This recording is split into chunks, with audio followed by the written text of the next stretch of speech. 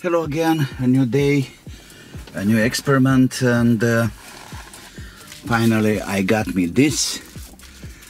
It's a new, brand new key for my Toyota Prius Gen 3, and this is an F33433. Probably this this is the the frequency.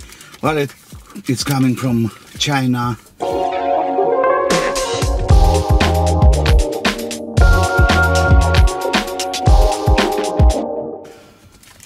and uh, well it took like three months to finally have it in my pocket.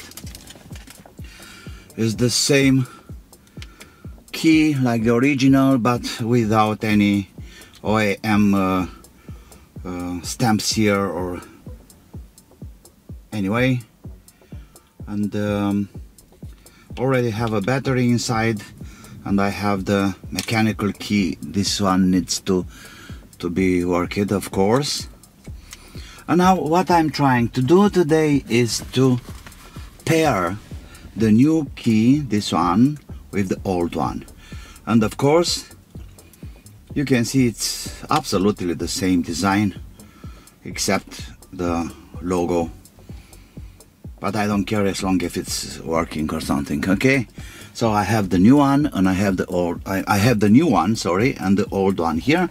So what I'm trying to do today is to pair them or better say to register the new one to the machine to the car. Of course we need an interface and this is a mongoose interface. I just have to plug it to the port down here Luckily it was raining a little bit and now the weather is pretty nice and cool. And uh, I already had the software installed.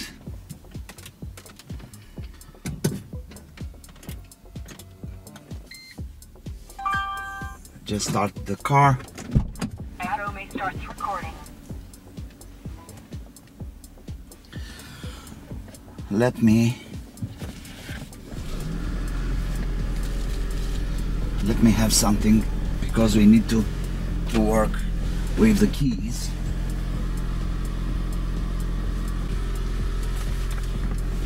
What I meant about working with the keys is that we have to hide or you know getting in and out from the uh, car the keys. So uh, it's easier to have it under the car in between the things. Okay so the software in, uh, is installed.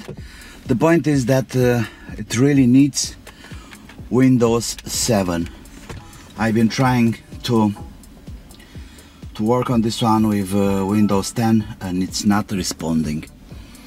Let's see. That's TechStream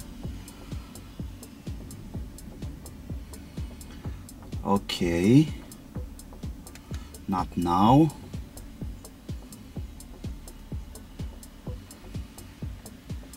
Connect to vehicle.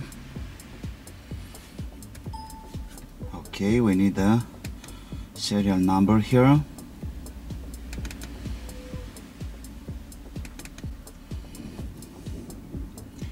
USB communication and let's see is it okay? Yes, of course. Look there, it's connecting to the computer. Perfect.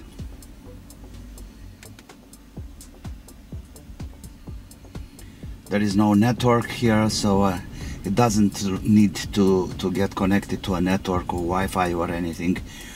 Uh, better just leave it like that. There we are. So we have this option here, smart key.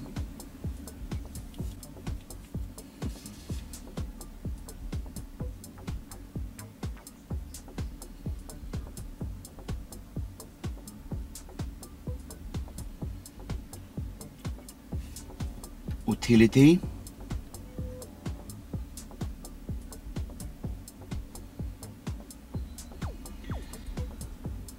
And we have a smart code registration.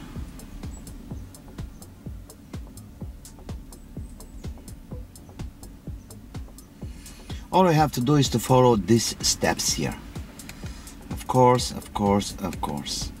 Like I said before, the, the new fob, the new key is absolutely virgin, so it never ever been registered.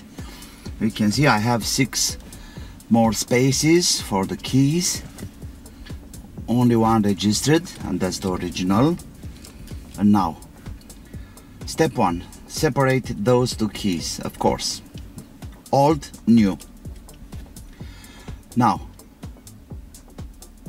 we have to place the registered key into the vehicle okay so the new one goes out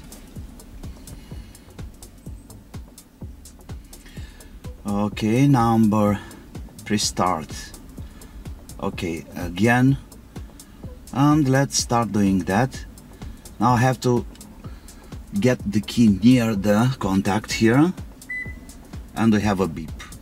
Now I have to remove the registered key the original let's say from the vehicle. And bring the new one into and place it closer to the ignition and here we are that's it now I have two registered keys and everything gets smooth and nice. Let's see. Okay, let me turn the car. Let me have the original key away from the car. That's the new one. And let's see if we can start the car like that. Brake. Perfect. Everything is working as it should. So that cost me around 50 or 55 dollars from China and it's a perfect match and uh, it's working as original. The point is that Never buy used keys from the internet and try to pair with the car. Because once the key was uh, written has been written you can't have it erased and written back everything is so complicated. So it's better to have new ones. They are very cheap. And uh, if you have a little bit of knowledge about computer and uh, uh, interfaces and stuff like this you can do it yourself very easy and very simple. I hope it's useful. Please like subscribe and don't forget to have fun. Bye bye